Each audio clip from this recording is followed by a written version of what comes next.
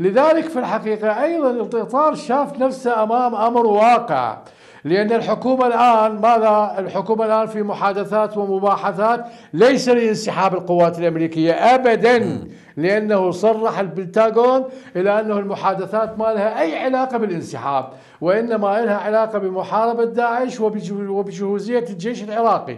فبما أنه الإطار هو جزء بالحكومة وهو جوهر الحكومة والحكومة هاي معادلة مالتها أنه التباحث في هذا الموضوع وجدت نفسها محرجة فأدانت هذه العملية أدانتها يعني أدانتها بشكل رسمي.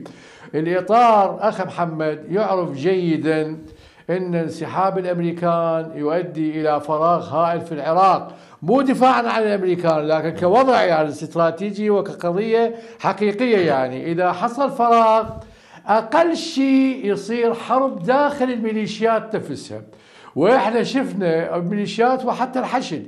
وإحنا شفنا بعيوننا أكثر من معركة حصلت داخل هذه الميليشيات في بين بين السرايا وبين فصائل وبين آه، عصائب أهل الحق. وبين وبين العصائب وما بين عصائب الحق وما بين كتائب الإمام علي. حتى عندما استشهد الأخ أبو تقى رحمة الله عليه النجباء اتهمت الخزعلي بأنه هو أعطى أسرار إلى السيد السوداني والسوداني خبر الأمريكان.